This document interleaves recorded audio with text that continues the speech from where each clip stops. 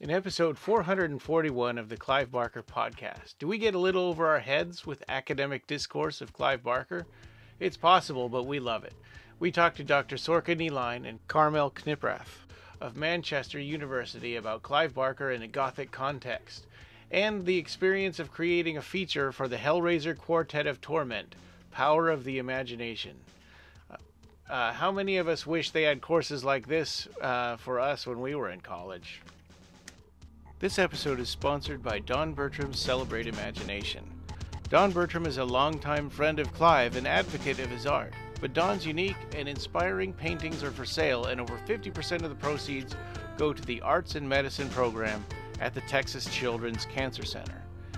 There's even a paver in Washington, D.C. representing Celebrate Imagination. We're thrilled that this worthy cause is sponsoring our podcast again this year, and we hope that you'll consider looking over the Etsy shop to buy one of his original paintings or books. Follow the link in the show notes or click the side banner and let's see what's new with Don Bertram today. There's some new paintings on the Etsy shop like the Stargazer, the Folk Singer, the Pearl, uh, Mother and Child 2. Uh, also, don't forget to look at his books Celebrate Imagination, The Imaginaries, The Chimney Sweep's Tale. In addition, he just revealed a new painting, The Remains, on Facebook. And not really related to Celebrate Imagination, he has two original Clive Barker pieces for sale The Touch and Fecundity. So contact us or contact Don Bertram directly if you're interested in either of those. well, welcome. This is episode 441 of the Clive Barker uh, podcast, and uh, and this is a special episode. Um, we're doing a video episode here because we're uh, we've got uh, Sorcha Ni Fhlainn and Karmel Knipprath uh, today, um, and and Sorcha, we've had you here before because of your book, uh, uh Clive Barker, Dark Imaginer. Uh, but but also and and you and Karmel uh, together you did a featurette called uh, "The Power of Imagination" on the on the new uh, Quartet of Torment. Uh, well, I'm holding up nothing. Hold on. I forget about that. There we go. Wonders of Quartet of Torment. There it Box is. Set. Yeah. Thing of beauty. Yeah, and the 4K Hellraiser box set that has the first four Hellraiser movies, and this appears on the first disc on uh, with with the first Hellraiser movie. Um, you know, and of course, it doesn't just cover uh, Hellraiser movies. This is a you you you uh, cover the the gamut of of Clive Barker stuff, which is really appreciated. I think in our work, uh, we in our podcast, I mean, we've kind of discovered that um, Hellraiser is sort of a splinter faction of of uh, Clive Barker fandom, right? I mean, it's like Clive Barker fans love Hellraiser, but Hellraiser fans don't necessarily love everything that's Clive Barker. Um, you could say that, yeah, well, yeah, yeah. But but welcome. Um, so I guess I get first of all, and this was something we were we were talking a little bit uh, a little bit before, but but uh, what how how did this come about? Um, what what was it that that um, that got this this going this this featurette? Uh, hello. Well, first of all, thank you. That was really kind and a lovely um, introduction. And uh, it's lovely to be back. It's great to be back amongst the Hellbound gang. It's always nice. Yeah. Um, so uh so i'm really really grateful that you're you're you're talking to myself and karmel today um speaking for karmel i apologize that's that's you know but that's the way i'm also so happy to be here yeah it's delight it's brilliant like it's fantastic um so how did this come about? Well um i got an uh in, arrow got in touch with me to say they were doing this incredible gorgeous uh quartet uh box set. And um that they um they've been made aware of of the Barker book, the um the Dark Imaginer book because uh because there's, there's so few books out there and Barker he's just so under under acknowledged in academia something that Karmel and I are mm-hmm. striving to kind of to correct in the world but you know I mean he's he's he's there but he's not as appreciated as one would hope he would be um so they had gotten in touch to say they were aware of that um and through some other uh, academics who really wanted to kind of foreground that work so um so we we we they kind of talked about various things we could do and the interesting thing they hit upon was well perhaps maybe thinking about situating his career in in context and thinking about not just hellraiser which is obviously such an important i think like like a gateway for a lot of people who don't necessarily know know yeah. clive's work beyond film or beyond horror even um and then thinking about that and then talking about his his uh his uh, you know his career but also the very stages of that career. And um well karmel will, will introduce herself she'll tell you about that but um i i immediately thought of karmel because of her work and what she's doing uh with me. So i thought well we'd make a fierce dynamic duo to talk about it in the academic sense. So i'll hand over to karmel to explain that side of the story yeah, so my PhD um, looks specifically at Clive's um, engagement with the Gothic through his work. So we spoke a little bit about that um, at our time in Liverpool, or Liverpool, I have Liverpool on the brain at this stage. Our time in Blackpool when we were filming the the documentary, and for me, I suppose that the Gothic is where I hinge on to Clive, and obviously, I suppose it's it's what draws the fans to Clive. I would argue to to a degree. Um, it's that facet of his work that keeps bringing us back, and certainly keeps bringing me back as an academic and as a, a lover of all his work, I suppose. So I was, how, how uh, I was fine. Gothic in in that respect. Then Just I am going to let you take this one, Sorcha, because okay. you're so much more qualified than I am at this stage. It's always the question like, oh no. yeah. okay, so how, how do we how do we define the gothic okay mm. right okay. I have a get out of jail clause on this one too right? So the gothic is anything that can be deemed as claustrophobic strange uh, that which renders the familiar world uncanny secondary worlds um, the idea of some sort of eruption from the past the re- return of the repressed all of those things that make the world a little bit darker a little bit spookier. Um, that's the uh, that's the way of saying it without sounding completely over dominant in academic language. But i do think that you know it's about claustrophobia and the collapse of time and space in order to feel completely um trapped within within your world or your situation. So that would be so we can think of the gothic as an as a feeling as a as a mood as a mode. We can also think of it as something aesthetic as well because obviously it does have an aesthetic history to it whether it's associated with architecture whether it's associated with in the contemporary sort of cinematic universe with the productions of Guillermo del Toro or um or Tim Burton you know uh, or indeed the, the lineage of Hammer. So um so Barker's work fits beautifully within the gothic. It it it, it, it calls back to the gothic all the time in terms of monsters who come into our spaces or into our into our lives or or the opening of doors into secondary worlds. But um i think that not all not all horror texts are gothic but a lot of gar- gothic texts then start flirting with horror particularly in the more contemporary period of the last 30 40 years. So you get this kind of um this steady sort of uh paralleling of gothic and horror and they often sort of intertwine at particular times. So uh so as i say it's it's it's complicated to answer the question but to kind of give you mm. that mood or that feeling or that sensation that you know of, of unease and uh and, and, and feeling peculiar and ill at ease i think that's that's really what the gothic's trying to do at ah, its heart. I hope you. that's some sort of coherent answer. No no that's great. Thank you very much. Uh you had mentioned yeah I, I was Go ahead. Go Sorry. ahead, Ryan. You had mentioned before that there were only a few, um, a few uh, literary books about Clive Barker. I know of uh, Gary Hoppenstand's uh, oh, "Imagination as Metaphor," and then, um, and then I know of one other one. I haven't bought it, but it's Suzanne J. Barbieri's uh, Clive. Uh, what is it called? Um, uh, I actually do have that book as well. Clive Barker, exactly Myth, myth maker for the millennium, the millennium? I think, from yes. 1994. And uh, yes. Uh, and then of course oh I have that yeah Phil and Sarah Stokes books that are that are kind of in between biographical and literary analysis because they they they come at it from the point of view of where he was at in his life you know as yeah it's quite biographically yeah. centered. Yeah i agree. Yeah. i mean i, I wouldn't yeah. call it literary theory but that's not not in the dismissal. It's just it actually occupies a very different and important part of the kind of yeah. the barker uh, analyses and canon absolutely. And then there's um there's uh, linda badley's brilliant book as well um uh, the oh god gothic horror and the body fantastic from the from the british fantasy society i think it was their first book that they released. Yeah i have a copy of that. The oh the barbieri yes yeah. Yes yeah.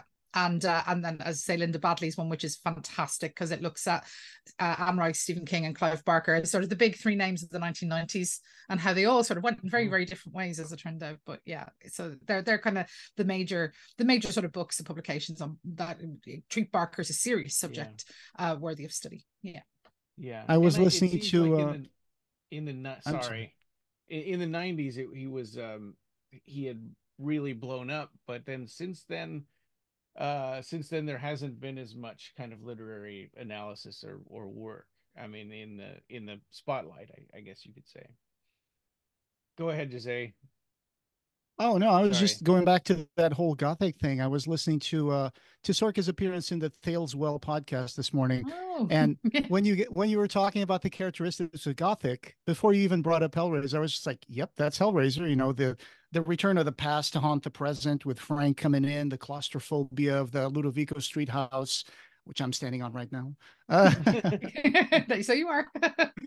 And and all of that, uh, all, all, of the gothic elements that you can kind of identify little things here and there in, in Hellraiser, and not just that, other other things, right? I mean, um, other things in the clive Barker body of work um, bring up that uh, kind of gothic elements every once in a while. Um, and it was it was great listening to that featurette and watching it because I rewatched it again this morning, and I think it's great to see academics talking about Clive Barker because it really puts things in context. Sometimes, it, yeah, I always learn something listening to uh, listening to your works or reading your books or reading your papers. And uh, for someone who, me and Ryan, who know everything there is to know about Clive Barker and then some, um, but we're not academics. It's always interesting to be able to contextualize certain things and identify that, oh, yeah, there are trends and there are things that we can apply, models that we can apply to this to understand how this is constructed.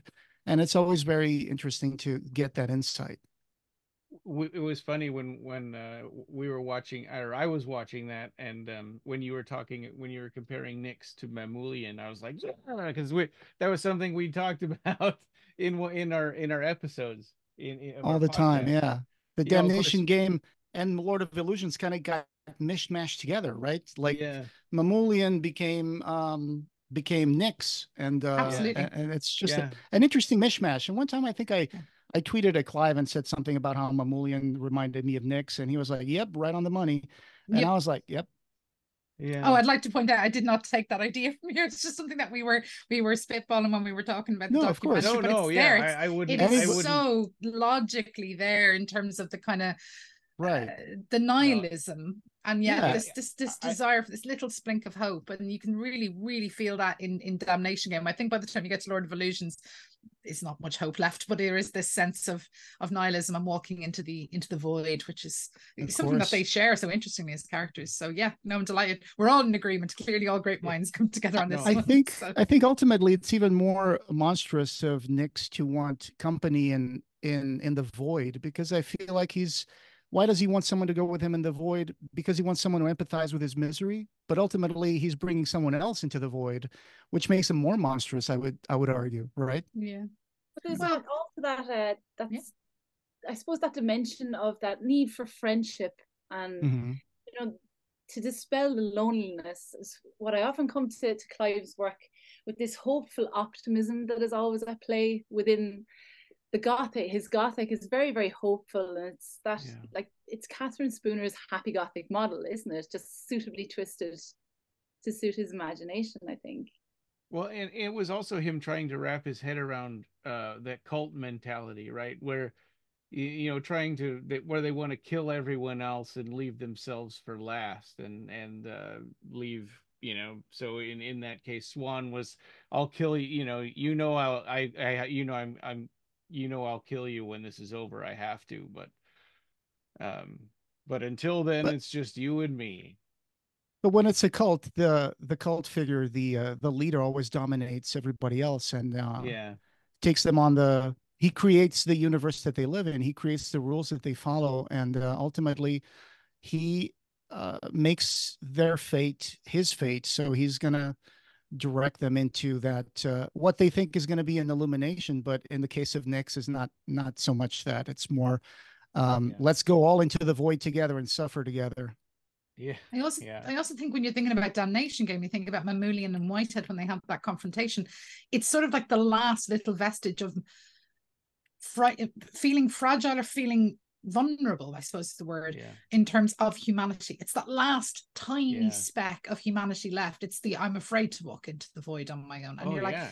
okay so it's not even about just the things that you expect with those kind of dominant characters of you know bullying this sort of uh, inferior character the one who's deemed to have less power in the situation but it's actually that sense of i'm i'm scared and to say that i'm scared is is quite a human thing from a character who's become increasingly sort of ethereal and made strange by by virtue of his immortality.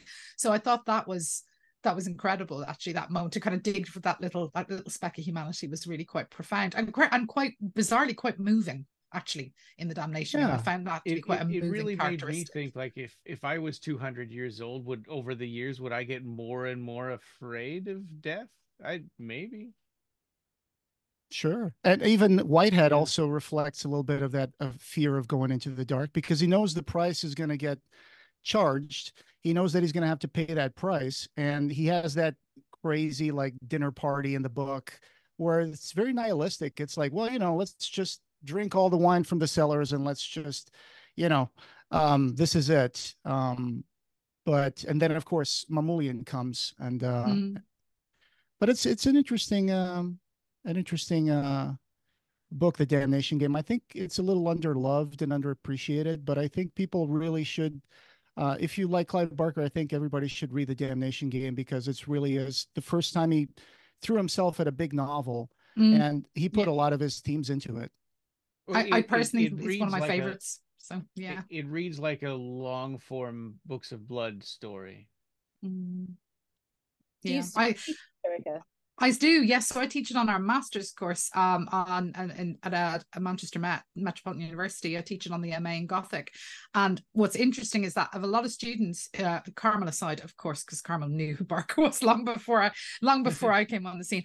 And um, a lot of students though who are like uh, who don't necessarily know Clive, Clive at all. And when you say, um, you know, have you heard of this person? They're like, "Mm, maybe. And then when you say, you know, Pinhead or Hellraiser, they go, oh yeah, that guy. I'm like, well, actually, he's an author as well as a filmmaker and an artist and all these other cool things.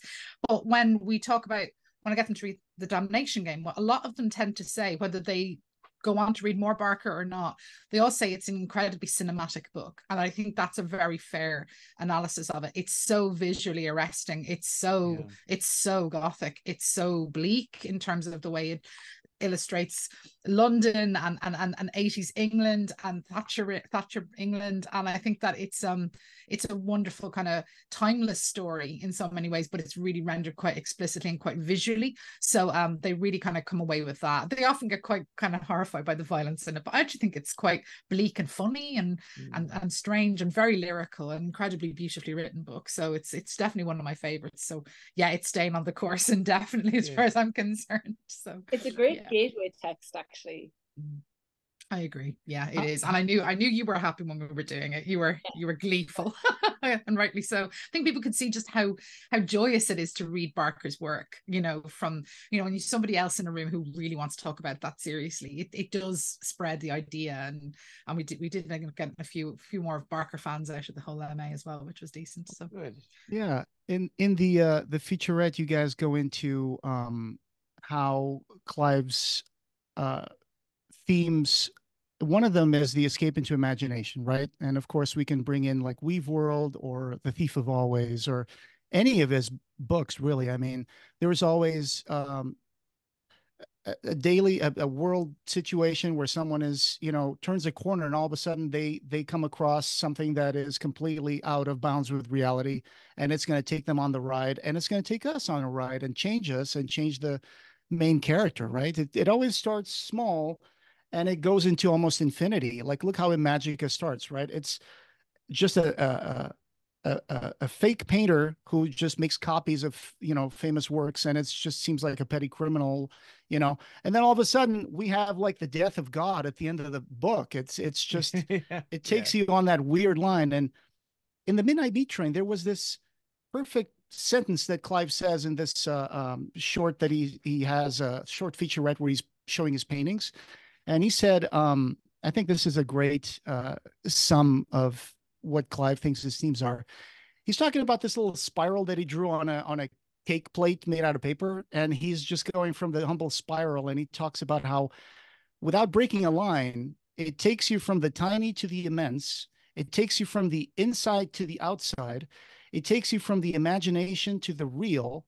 And he says, and I stress without breaking a line, and that's what I'm trying to do in my fiction. I'm trying to take the reader by the hand and take him out or her here at the edge of the spiral, and then without breaking the surface of the known reality and violating their understanding of what the real is, slowly coax them, seduce them into a place which is richer and darker, more mythic and more full of echoes and mysteries and profound innocence and profound guilt and evil. And finally, into oneness, which is right at the heart of things. And mm-hmm. that's just he said it i mean that's you can just look at that and immediately i think of Imajica with a circular mm-hmm. map where everything just is a one yeah. ring all, all of those themes in there I mean, you can't fault you can't fault him for ambition, like you know. I know, really yeah. Can't. Like that is yeah. same with Abarat. Abarat's the ultimate escape into yeah. imagination, right? You're not just escaping right. the world into a fantasy world. You're you're escaping into a world that's birthed into all these paintings, into all of these um, creative vignettes, and that mm-hmm. they just kept coming, and it became this huge like epic that uh, we hope to see finished uh, sometime soon. But uh, Abarat's like really like the most complete um Blakean sort of you know work that Clive's ever made with all of those paintings and all the text. Well, even mm. even the even in Weaveworld, there's Gyres are sort of touched on in in in Weaveworld as well. Are you, are you talking about where the the the the carpet gets weaved out of? Yes. Yeah. I yeah, think that looms, isn't yeah. that a, that's kind of a I thought that was a spiral. The spiral at the center of it. Yeah, it's a spiral. Yeah, yeah it's like a yeah. yeah, that's true. Yeah, that's it's always like this big spiral. The Imajica could be considered a spiral almost. But it's mm-hmm. interesting the way that we get immersed into this world slowly and slowly and ultimately we accept the the the crazy and boundless things that happen in Clive Barker's stories uh, because he brought us here in, in, a way that didn't break a line. So you mm-hmm. believe that the guy who's chasing a pigeon at the beginning of Weaveworld is the guy who ultimately is going to be at the center of this huge reality with all these like magic creatures around him, immersed mm-hmm. into a fantasy world. Yeah, it's it's it's crazy. But um, another one of the most famous Gothic characters or monsters is the vampire, right? So, mm-hmm. um, that pops up a lot in Clive Barker's work as well. I mean, I know he subverts a lot of um, stereotypes and monsters, right? So we have things like the the vampire or the zombie. You know, for example, in Damnation Game, Breer uh, yeah. is the zombie uh, who doesn't know he's a zombie, which is. It's yeah. just really horrible. funny. I'm sorry, yeah, it's really disturbing, right? but it's yeah. really funny. You know, like when when he's sitting in his kitchen eating human flesh and crying because he's sad, and you're like, Ah, uh, yeah. one of my favorites is when he's. I think he's getting the bus. I think it is in in in. The, I'd have to reread it, but I think he's getting the bus, and everyone's kind of moving away from him, and he just ends up dousing himself in more sort of cologne to kind of yeah. cover the smell, and he's clearly yeah. you know decaying. It's it's again, but it kind of makes you think I've been on a London bus on a wet afternoon, and yeah, that wouldn't surprise me at all. you know, so um, it's got that kind of familiarity and hilarity to it, but at the same time, this kind of disgust and sadness kind of woven into it really really um, yeah and and, the, and, that um and that tra- transition into his point of view where mm. he's trying to think and his brain is rotting yeah. it's uh yeah it's sort of uncomfortable and... like you're, you're so you're so drawn to Breer and yeah. you sympathize with Breer and you, you come away feeling very conflicted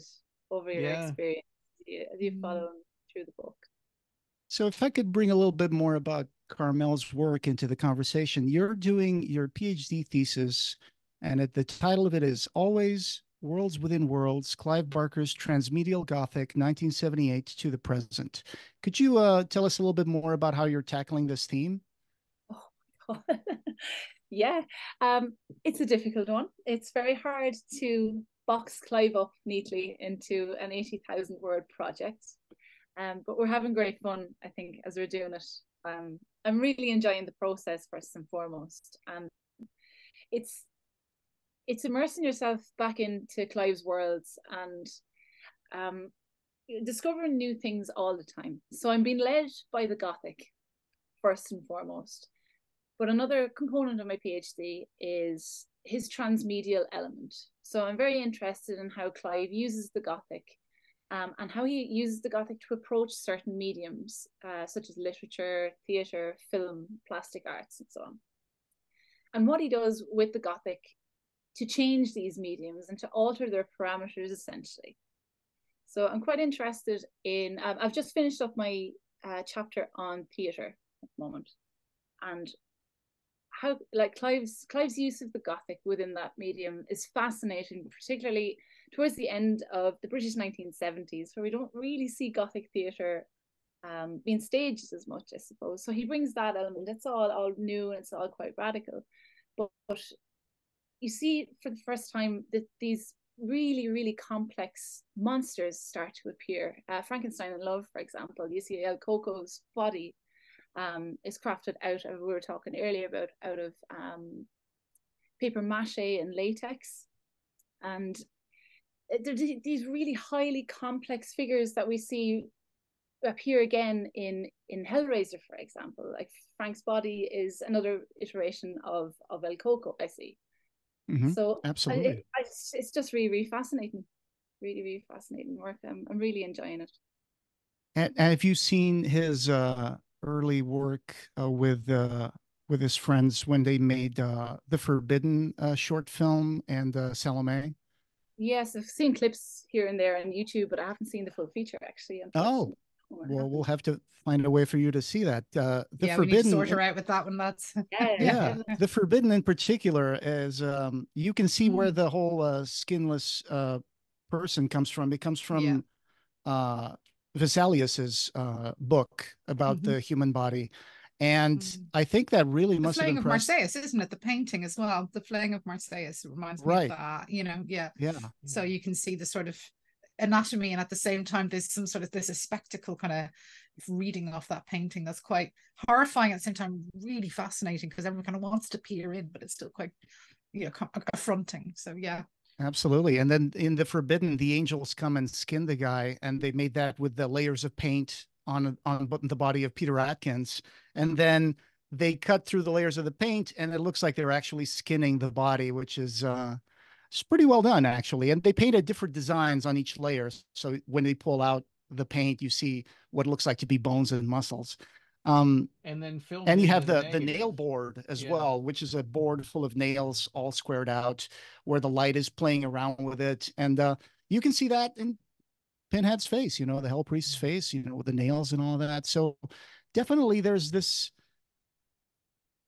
These concepts are floating around, and that you know those big fish are circling around in Clive's ocean mine, and then he just comes in and picks those fish up and just puts them out, and it's just amazing. And and uh, going back to the plays really quick, Jose just showed them off here, but also just wanted to make sure people know you should go to uh, the Clive Barker archive. People should buy these because they're not very expensive and they're books on the individual plays. And right now there are uh, six of them. Yeah, I think six. That's right. Yeah. And uh, but they have hmm. th- three that were that have been previously published and three that were never published before, and so, um, it's the least expensive, best way to get uh, Clive Barker's plays. There are also the two previously, you know, published books, the um, in Forms of Heaven and Incarnations. Um, but so the, the these continue will continue to be published as far as we know. They're they're still working on them. That's excellent. Is that Phil and Sarah producing those? That's they're really yeah. that's important. Yeah. That's great. That's fantastic yeah. work. Yeah. Great. Um, so yeah, going back to the vampire, like um, for example, we see that uh Frank and Julie are kind of vampires. You know, they suck the blood out of their victims. Um, that comes up in a lot of uh, stuff in Clive Barker. Um, uh, the idea of this seductive vampire, bad boy vampire like Frank. Um, There's the story human is it human remains? The one with Mhm. the Yeah. yeah, the the yeah, that's almost like a bathtub. it's almost Yeah. like a retelling of a golem story, right? So that's Yeah. that's Yeah. the interesting thing that he kind of subverts these original monster ideas that we have and puts them. Yeah. Even has one with werewolves. Uh, I think it's a Right. Twilight at at the Towers. Yeah. that it's about werewolves trained by Secret Service uh, to be secret agents, which is Yeah. kind of like a, an outsider in the books of blood, but it's Yeah. it's super fun. I wish they would do a movie about that. Yeah. Do you have a favorite vampire iteration from Clive? Oh, Mr. Hood is my favorite. From Oh, yeah. Yeah, I was thinking Thief of Always as well, but also when Harvey gets transformed, you know, into a Oh, vampire. I love that whole sequence, you know, and there's Yeah. and a gorgeous drawing of Harvey with the bat wings that I I'm seriously considering as a tattoo. But you know, it's it's just so beautiful and so Yeah. um the power, the, the sense of power that he's almost drunk on, you know, when he's running around the back garden, um, terrorizing the sort of the um the other kids. It's brilliant. I love it. You know, it's um and it's probably the most explicit image of a vampire that Clive, because Clive likes to shy away from maybe using what we consider cliche.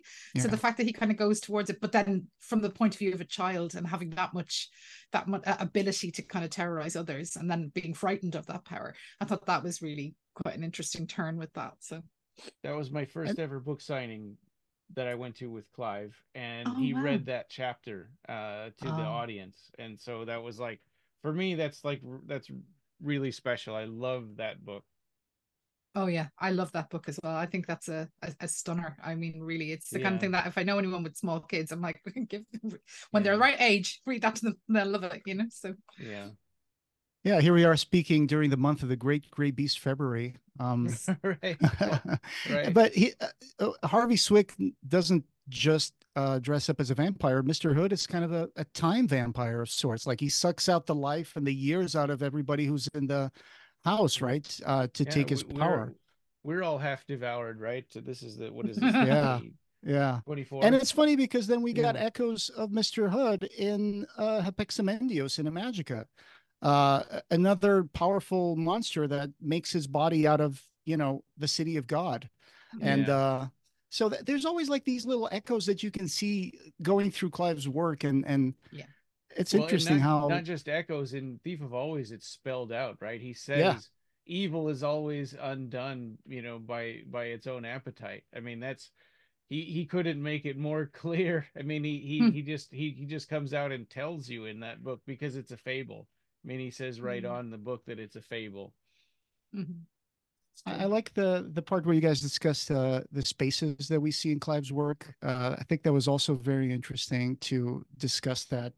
Um, in Clive's story, there's always these magical spaces like Midian in Nightbreed, for example, um, a city where everything is fantastic. Everything is non-human, non non-earth-like. I mean, non-real. Um, you have a whole like city full of the last remnants of the great tribes and especially if you go into that little book hellraiser chronicles then you see all of them like with little bi- biographies for each monster and You Mhm. mean yeah. It- Nightbreed it's- Chronicles?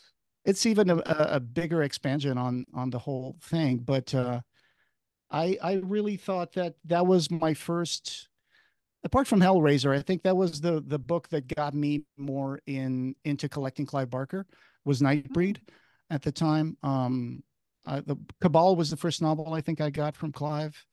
And um Same and it's yeah and it just kind of calls out to you right? I mean that's clive kind of seduces you into these worlds by showing you that there is something outside that has always been there and you can always go there which i- guess you could argue it's the kingdom of your imagination but with Mhm. clive it, it- really is you get immersed in these books and um it really it really takes you on a big journey that sometimes you don't get out of other authors but um i i really have a blast reading stuff like Imajica Mhm. and yeah Guess- what was your first ex- uh, novel or experience with Clive? I'm trying to remember, and I can't. I can't remember. Cabal was my first as well. Cabal was your first as well. Or, yeah, I stumbled upon it upon it in a secondhand bookshop. I think it was maybe 14, 15. Ah, Um, that picture of Clive. Um, there was a couple of books from what I remember. and it was this really really beautiful picture. Um, oh, is it the Annie Leibovitz one? It is, yes. The black and white Annie Leibovitz photograph. Oh my god, yeah, yeah, I agree with you completely. he was the most it. he was the most beautiful horror writer by some distance. Yes, that's true. Uh, the Linda McCartney photo is pretty good too. Yeah, oh yeah, it is. Yeah. It is pretty. No, the Le- there's something in the Leibovitz one is just. Oh my god, oh, yeah. it was stunning. Yeah, yeah. I, I, I mean, at that yeah. stage, I never hadn't seen Hellraiser. I had no no Clive Barker knowledge, and it was the world building, and I think that's mm. what draws me back to him every time. The complexities and the richness of the worlds that he builds, and the fact that they're left open at the end of every text that you can you're invited back all the time. You know, I. I love that. That's so interesting because the three of you, uh, Cabal was your gateway one way or the other. Um, mine was Weaveworld actually, and I'd I'd seen Hellraiser, uh, like the, the the video cover quite you know quite prominently as a kid, and it you know scared the living bejesus out of me as a child.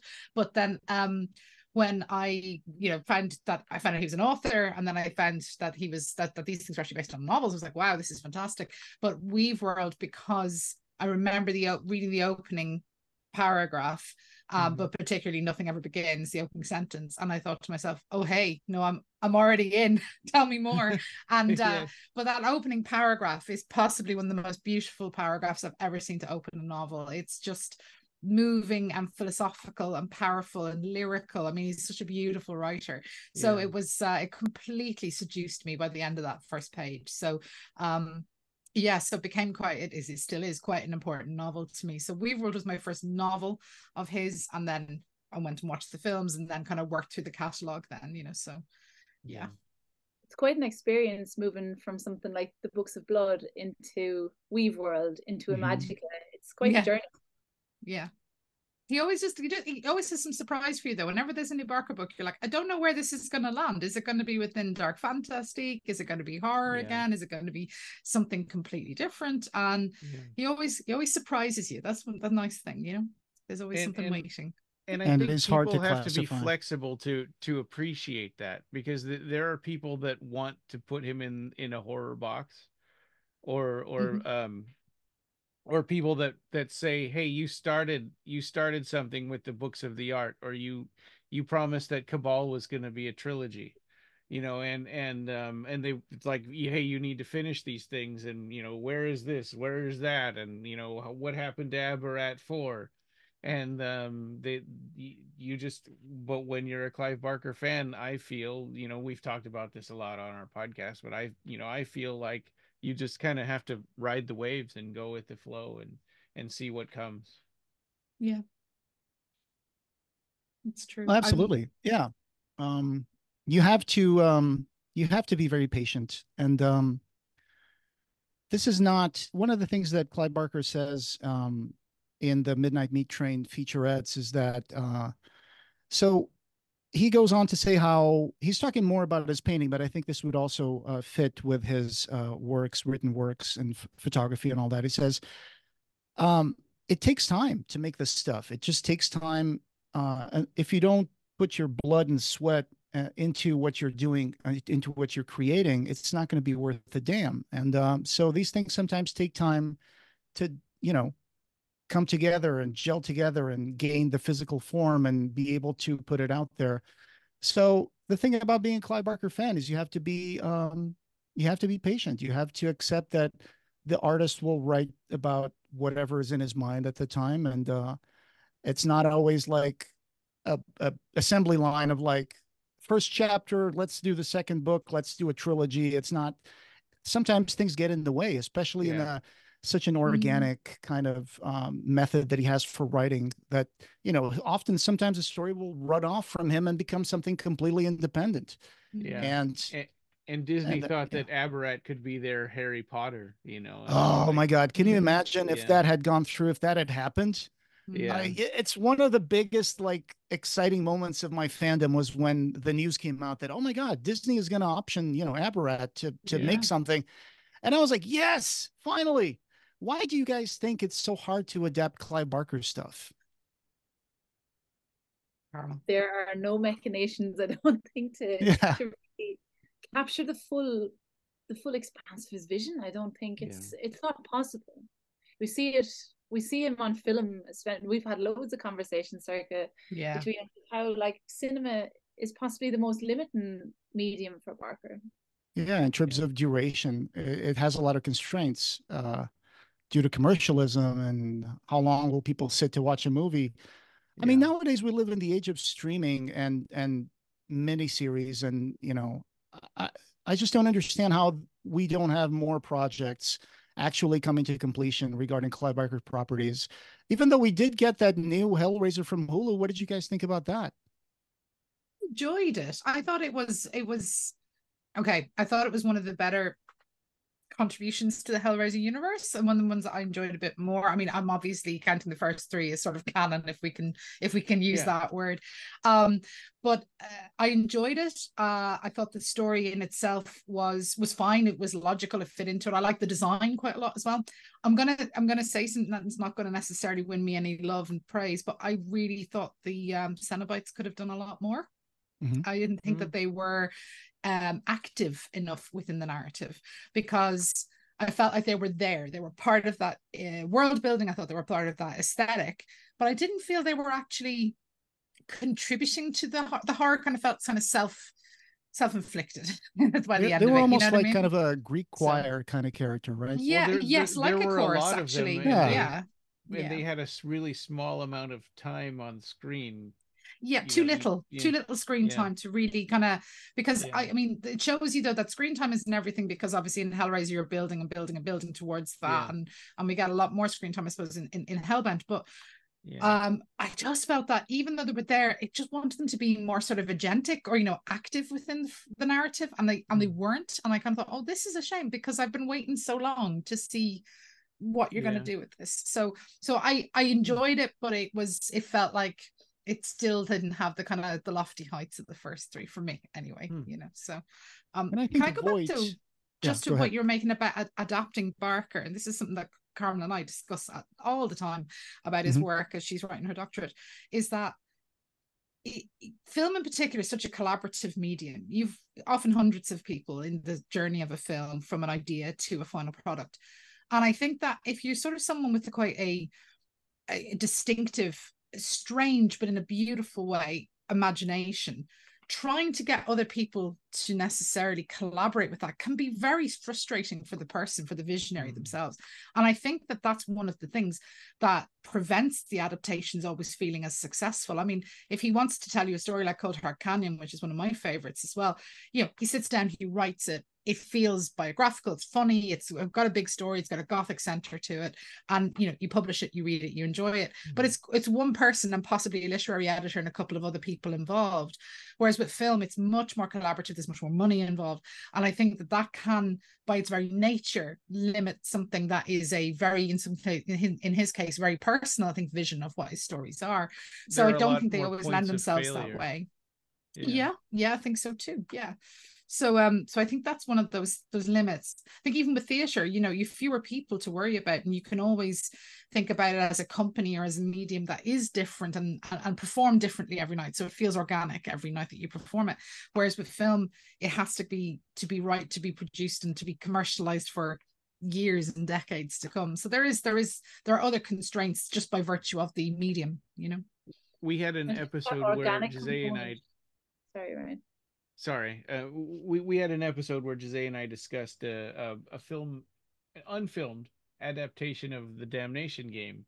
Oh, uh, by okay. Anthony DiBlasi, who made the. the that, it wasn't good. Breer drove a yellow Lamborghini, just to give he you an a, idea. He was an, an, oh. Lamborghini dealer. Yeah, a Lamborghini dealer. Yeah, yeah. It's it's terrible. it's terrible. Well, yeah, but uh, yeah, I mean, not all adaptations uh, are good. No, no, uh, not necessarily. But uh, I'm just back, trying to get that image out of my mind. yeah, just, it's quite something. Oh yes, uh, that that was wild. It was a wild. And it, it had uh, it had bull horns on the on the front of the Lamborghini. On the front of a Lamborghini. Lamborghini. That's yes. insane. Yeah, yeah. yeah. Don't um, do that to the Lambo. My God, what did it do to I you? Know. Yeah but Coldheart Canyon. Bad adaptions. We need we need to really really discuss Rawhead Rex at this point. Oh yeah, right. That would, be, that would be that would be perfect for a remake. Those are the kinds of movies that you remake, right? The ones that were you know yeah. that had really great stories behind them, but didn't quite didn't quite make it. You know, and didn't quite first run get there. Yeah. But for example, uh, Transmutations, uh, the mm. first book based on a Clive Barker script that was that came out recently in 4K, if you can believe it. Um, it it uh, it also has echoes of Nightbreed and it has echoes of Weave mm. World because it's a bunch of Morlocks that live under the ground and they're all in this, you know, weird drug that makes their dreams come true and externalizes them on their, you know, appearance. And then at the end, the original script had a Dr. uh, Savary who would have like hypodermic needles come out of his face in the original script. And uh, that calls towards Pinhead. So there's mm-hmm. always this echo of these, these big bang echoes that echo throughout mm-hmm. all of Clive Barker's work and uh, mm-hmm. repeat these little topics like Coldheart Canyon, another space that is kind of based on almost on on Clive's own house in in the canyon, yeah. right? I mean, yeah, oh yeah, all yeah, absolutely. When you're walking through it and you're reading the book, well, you're reading the book, and then you can, if you've been through the space, you can walk yeah. through it and actually map it on because you're like, I, you know, I know that door, I know that spiral staircase, or whatever it might be. So it does feel biographical, but at the same time fantastical. So it's just like it stretches that space and makes it again, makes it gothic, makes it weird yeah. and strange and magical. So you know, and, and show um, us the the haunted Hollywood with all of the oh, echoes yeah. of all the, the actors that lived in it I think Clive or or the Seraphim office used to belong to a actor. I think his last name was I think it was Robert Culp. And it's funny because if you ever visited that house, there's like secret passages in the house too. It's yeah, like there was yeah, a yeah. bedroom that had a door that led to a hallway, and I was like, oh, it's it's yeah. just funny the the the spaces that you see in Clive's work and how they reflect to to places that he lived in, like Liverpool and all that stuff. And London as well. I mean, again, Crouch End, yeah, you can feel that. Too, exactly. You know? yeah, I mean, yeah. so yeah, it is it is there, this sense of kind of again, it's that gothic ethereal nature of it, you know. Um and, and and he's aware of it. He brings it to the fore in the in his writing, you know. But I mean, as as as this is exactly what Karmel's work is doing as well. It's about identifying those those repeated themes and patterns and what transforms a text into a Barkerian text. And I think that's what makes it so interesting. Yeah. You know what I mean? Like that he's able to literally transform that media, you know. And I've always for thought... Karmel again, I apologize. you can do it. But you know. I, yeah, but I always thought that uh Clive kind of there's a self insert of Clive in Magic and Gentle, I guess. I mean, I always mm. saw I always saw Gentle as looking a lot like Clive in my mind. I, I don't know why, but it just seems like a lot of what he puts into gentle is is something that is inside clive as well. I guess that's true of every author but i think in that case it, it really is, feels like a self insert in the Imajica I think I think a lot of authors are, for better or worse, they they either put in a version of themselves or a, fant- a fantasy version of someone with whom they are enthralled or in love with. You see that with, with, with many authors across many genres. So it's nice to have that little once you identify those kind of autobiographical flares. I mean, you see this with Dan Brown as well. I'd like to mm. point out it's not always just uh, the great and the good. You know, you see this all the time. So um, yeah, I think it hooks it on for the authors, makes it makes it real brings them back into that circle in sort of a metatextual way too in in that he you know he he he holds the world in his imagination and and releases it and and rewrites the world. Mm-hmm. yeah i think so. I think that's what he likes yeah. to do. He likes to reimagine it and re- reassemble it in his own way. Yeah. and and also then bring us into those gorgeous infinite strange secondary worlds. Yeah. You know that's that's always the thing you're looking for is where's the door because there's going to be a doorway at some point into a secondary world into which you you may forever you know spend your destiny so i, I still hope that one day someone will come up with a great Clive Barker unified theory, where we put all of the mythology. Oh, you're looking at her. She's going to do it. Don't, oh, aren't you, Karmel? Yes, please. a theory of everything, a theory of Barker and everything. Right.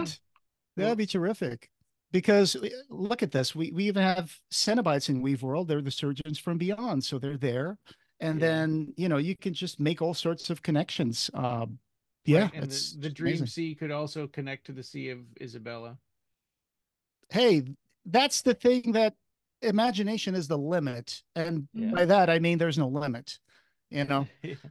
you can you can think up whatever you want and just put these mm-hmm. things together and, and see how they work that's that's the good part but uh, what other projects are you guys working on right now? At Karmel, I know you're still working on your thesis, so that's definitely taking up a lot of your time. It is. Uh, that's my focus at the moment. So I have another year left. So ask me again in 12 months and we'll see where we are. Oh yeah. Oh, definitely. And, We'd and love you'll be doing you a back. conference paper, won't you, Karmel? You're doing a conference paper for yeah. for me. Do I'm you want to tell them what it's on?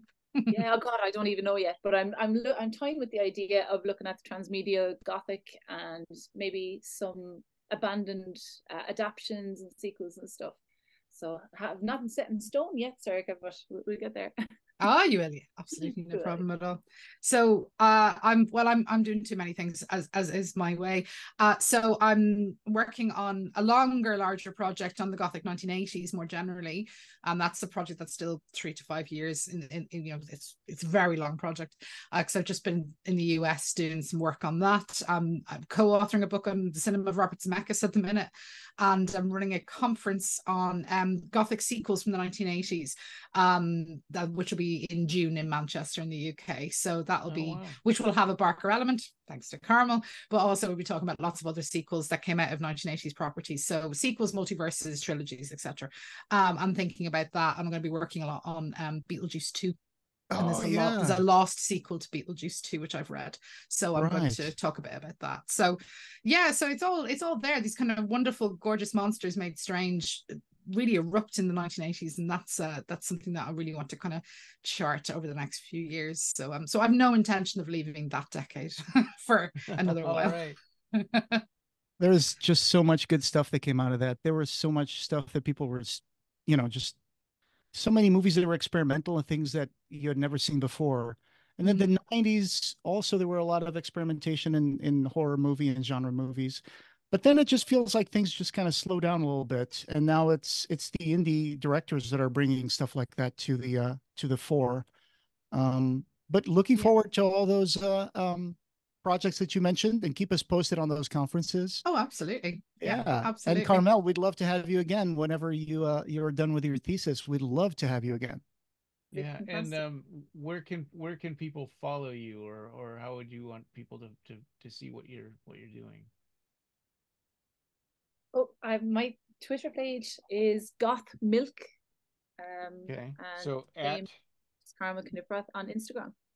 okay, so at Goth Milk G O T Goth Milk with two L's and an and an underscore, I think. Yeah, G O T H underscore M I L L K. That's it. That's it. Yeah, I saw when you guys posted about uh, in October when you got the the box, the beautiful Hellraiser themed obelisk from Isn't it Arrow. yes It's gorgeous. can And I that- give you that guys book? Yeah. Hmm. yeah that that that but that box that came out was utterly stunning I mean what I can't wait for the next box that's going to come out in six months.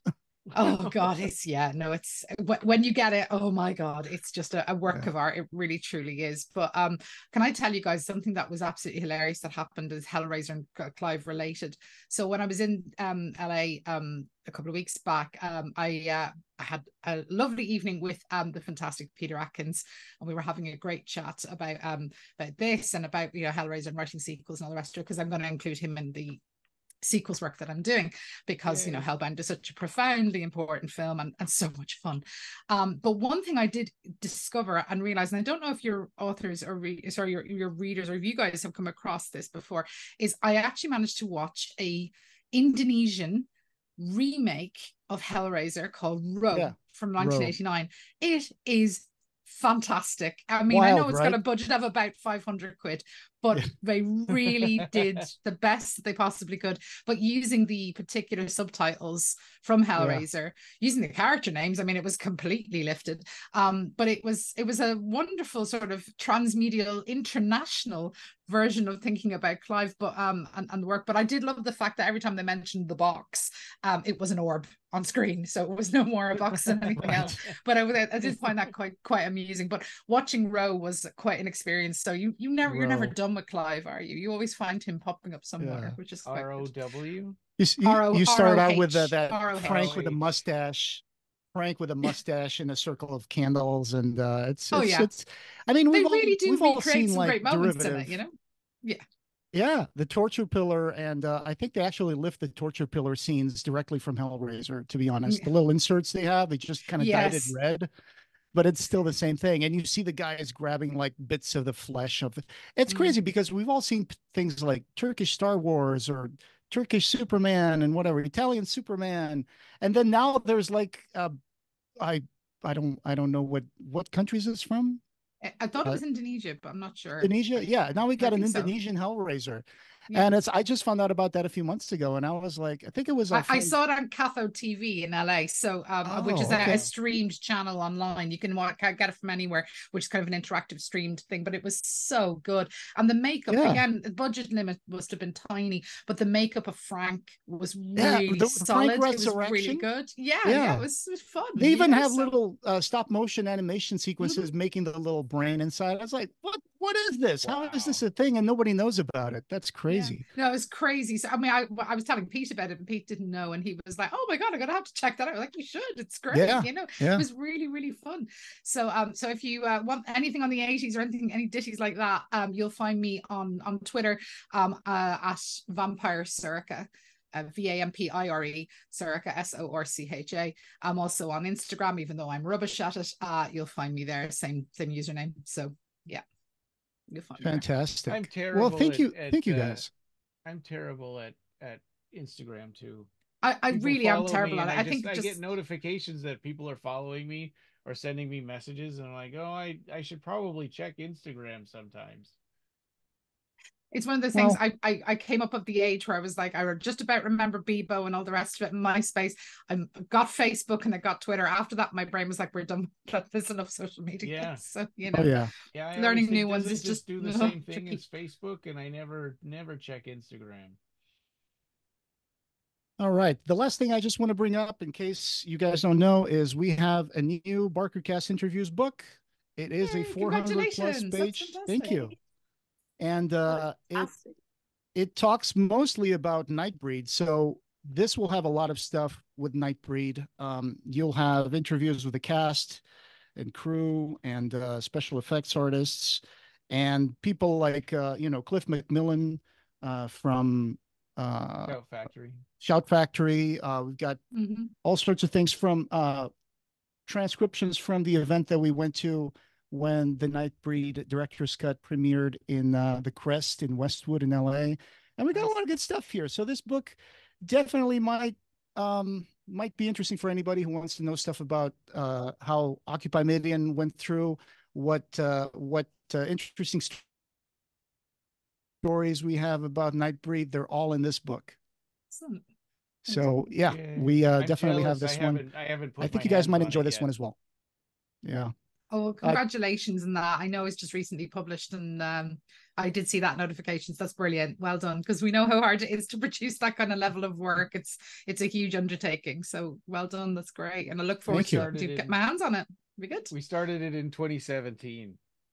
Yes. Yeah, that that's about right for the pace of academic life as Karmel. I know it takes a long time to birth these things. You know, Many so- hours of interviews went into this, and uh, nowadays we have AI, and it's super easy to transcribe. But back then, it was doing it was done by hand with help from some of our listeners, and we really appreciate all the work that was put into it. But anyway, not to take uh, the focus away from uh, from you guys, but we'll send you uh, we'll send you some uh, proof copies Oh, after lovely. this. Thank you. Yeah, That'd and- wonderful. And I really appreciate all the time you guys did by joining us today. Oh, thank you. That was fantastic fun. And uh and also thanks to Arrow, by the way, for producing such a beautiful box set. I mean, Yeah. I think you'd be hard pressed to find anyone who didn't think it was just a a box full of treasures, to be perfectly honest. So Yeah. um Amazing. Great. yeah. And for you guys for keeping going. Episode 441, that's commitment, yeah. you know? Oh yeah, and I you were on our our 400th episode cleaning uh cleaning up on our trivia contest. That's right, I was. yes, I kind of. Yeah, And I I remember did have you one got or two faux pas though as well. Don't worry, you know, it wasn't a clean, Yeah. clean sweep. And I remember Yeah. you got in touch with uh, I think it was either Barbie or Yes. For your That's- 80s project back then. yeah, yeah, So it's yeah. I've still got to follow up with. Barbie and stuff. Yeah, it it is, and it will continue to. I've been talking about the 80s since, if you know me, I've been talking about it as long as I've been alive. So you know, it is. This is the but it's it's it's a project with lots of you know Barkerian tentacles coming out of it. You know, I mean, there's lots of work on sequels and lots of work on directors who are not necessarily gothic and you know things like that. But it's um, yeah, I'm recuperating the decade in terms of its its artistic merits at least. Anyway, I, I always think it gets a bad rap and it shouldn't. It was actually a really pivotal decade, the last analog decade we had. So I think yes. that's quite important to think about it. You know, so and it produced some of the best things that we talk about all the time here. So why not? Yeah, I mean, for our generation, definitely has been, uh, you know, very formative. Um, mm-hmm. Thank you again to the two of you for being with us yeah, today, and you. congratulations on the featurette and all of your work. And keep us posted on your projects. We'd love to have you yeah. guys back again at some point. For sure. Thanks, guys. Thank you. So, okay. Ryan, what's coming up next?